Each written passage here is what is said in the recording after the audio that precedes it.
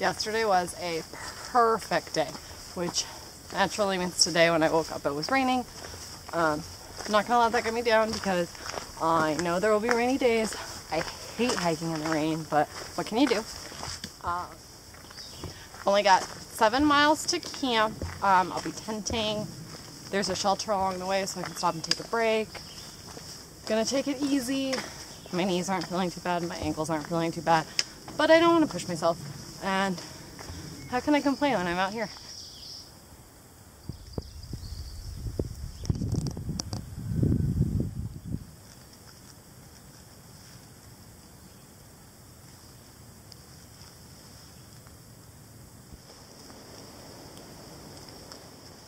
It's already really nice to be able to have a short day and take a break out of the rain for like an hour at a shelter. Um, had a little lunch. I'm about to start hiking again. I've got only two more miles to go until um, the campground where I'm planning to stay tonight. Uh, the next place I could go is like five miles past that, but I don't want to push myself too hard, so I'm gonna.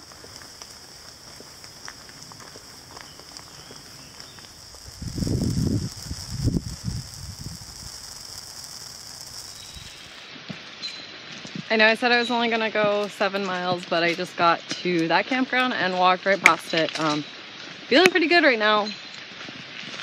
A little achy on my feet, but my ankles aren't bugging me, my knees aren't bugging me. It's only two o'clock, so I can go hopefully another five and a half miles to the Pine Knob shelter.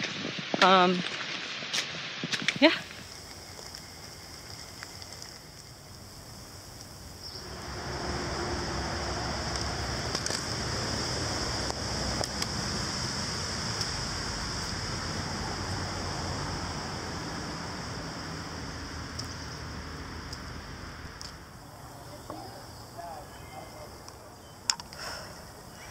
And I'm done.